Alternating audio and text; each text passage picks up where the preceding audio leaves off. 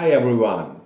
If you don't know CAM and you need lead oxide equipment or curing chamber or other equipment for lead battery industry, today I want to show you how to can keep in contact with the CAM assistant.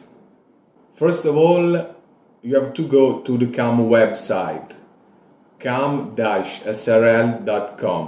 then on top you can go to the chat page and then click on the link. It's very simple. I also remind you before requesting quotes we suggest to download the CAMbox, a free resource of CAM to understand better how to produce lead oxide and cure the plates.